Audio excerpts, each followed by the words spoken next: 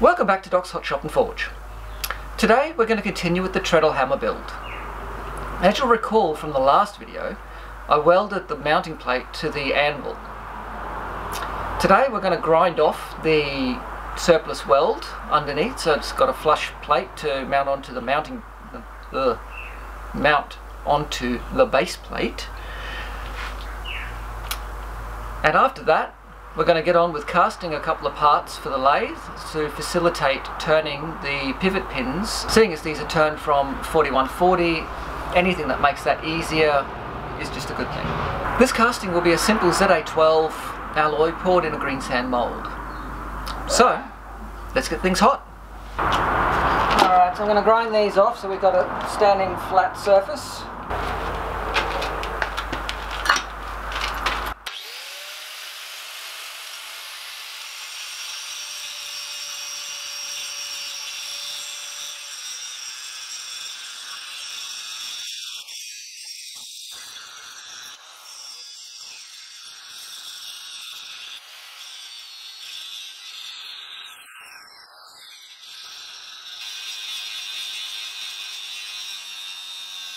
So that's the base plate or the mounting plate well welded to the anvil and ground flat.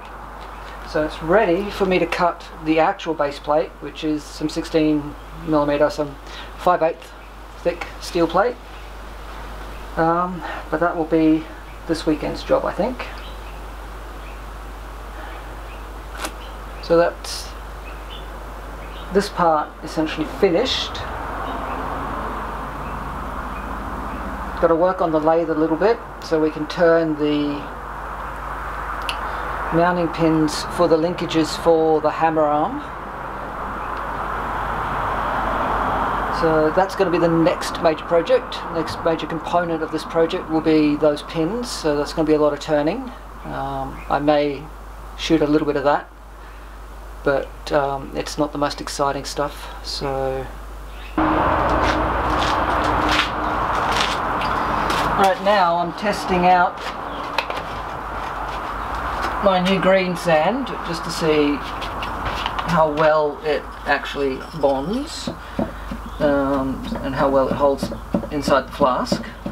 If it holds up reasonably well then I'll be casting a part for my lathe so I can progress the treadle hammer as I have some significant amount of turning to do. Really wish I had my old moulding bench. But, unfortunately,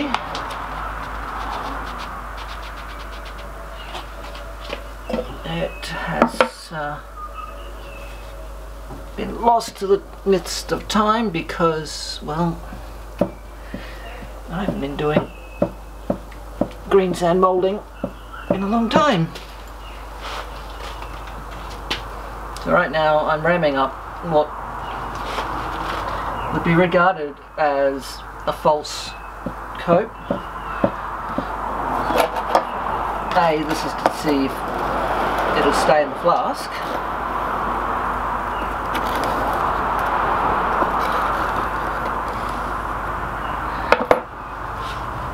Uh, but also how well it takes an impression because I'm going to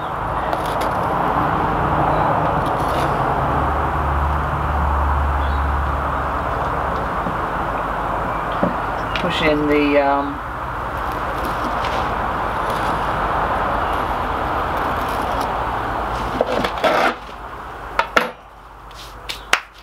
now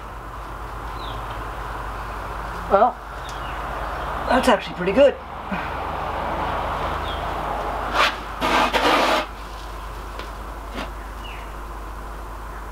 So that's good. All right that test worked out pretty well. So let's fluff this sand up, ram up a false drag, and um, start. Oh, that actually took a effort to get to come out. Excellent.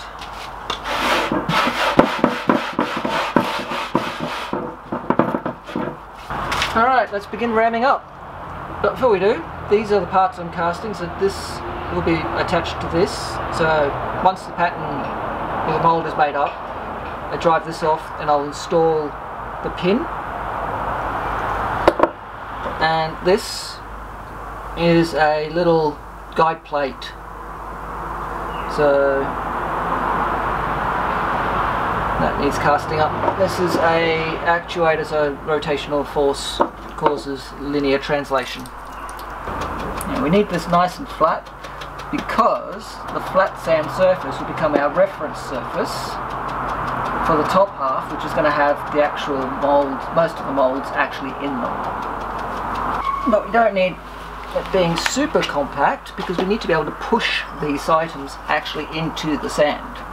Incidentally, this will be the first time this particular batch of sand is used, so it might not be optimized yet, but green sand actually gets better with use as long as you keep tempering it with the right amount of water. Because all of this ramming that I'm doing actually drives the clay to be more tightly bound to the sand. My only concern is that this sand might be a touch fine for this particular alloy.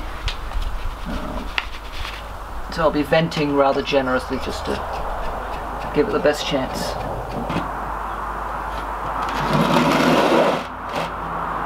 Beautiful. Talc is a good parting compound. It'll keep the sand from sticking to itself. It'll also keep the patterns from sticking to the sand. So what happened was, and I don't think I got this on video, is that when I closed with the pin in place,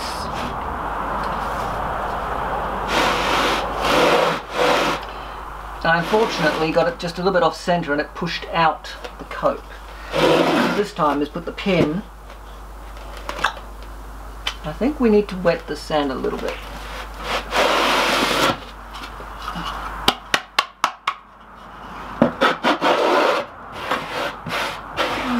About fiercely dry. Yeah, pretty good. Alright, let's try that again.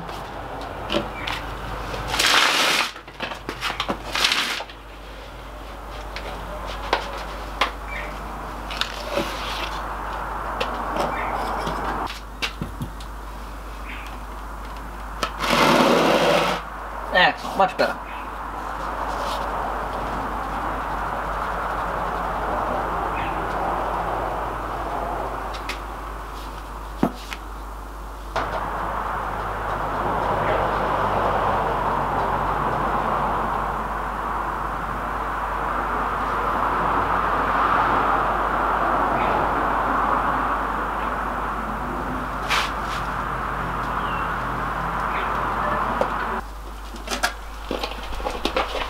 Do the facing sand.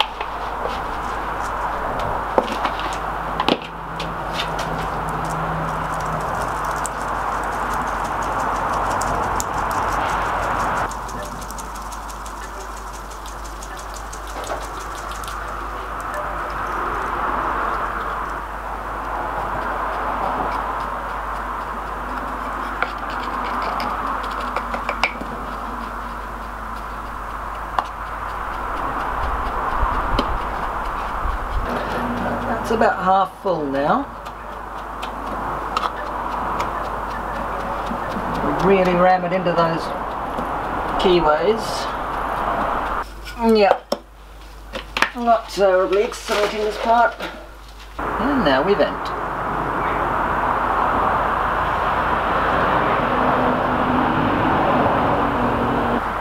For those wondering, it's almost 40 degrees Celsius here at the moment and the humidity is in the 20% mark. This stuff dries so fast. Let's try this again.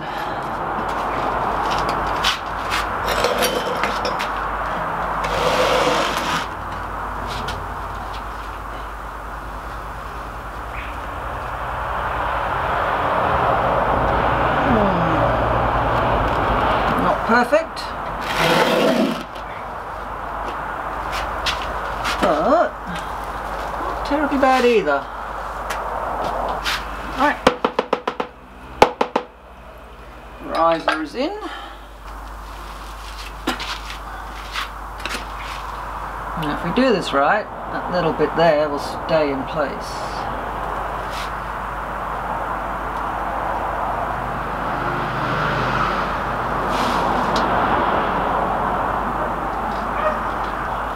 Okay.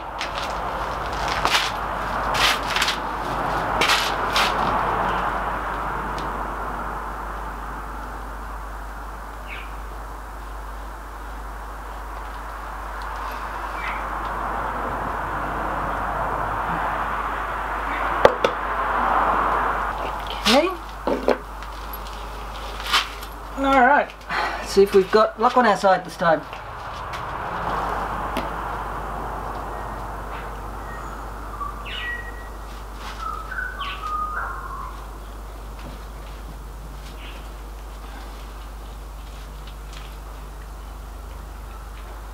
And there we go. That is ready to cast. This is just to keep things from falling in and to minimise the water loss.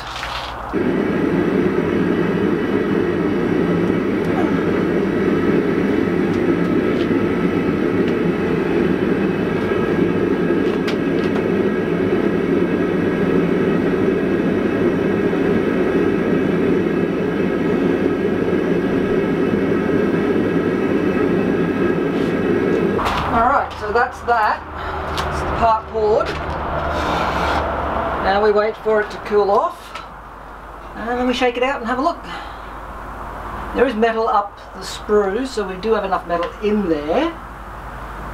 Um, that's just a matter of waiting to see if we've got enough head of pressure to actually get everything done that we wanted. So, yes, finished casting.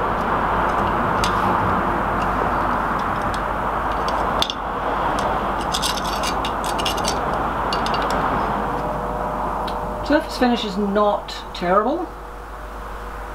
Um, it will take a little bit of tidying up.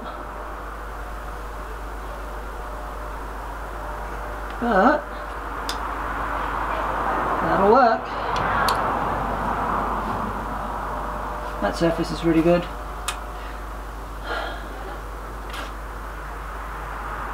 Excellent. I'm very happy with that.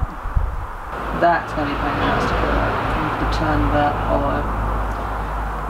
I'll have to face off the inside of that.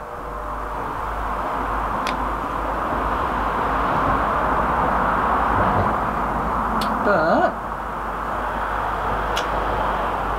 we do have a lathe, so we can do that. So that's the grinding done. I'll be cutting the base plate to size in the near future. Um, being cut from a piece of 5 8 um, steel, it's going to take a little bit of cutting. I'll be cleaning the castings up over the next day or two and should be ready to start turning the pivot pins next week sometime. Um, in the next couple of days I will also be forging the 500 subscriber giveaway item. Um, seeing as we're like 10 subscribers away from hitting 500. So keep an eye out for that. That'll go live once we reach 500. So, as always, if you've enjoyed this video, hit the thumbs up.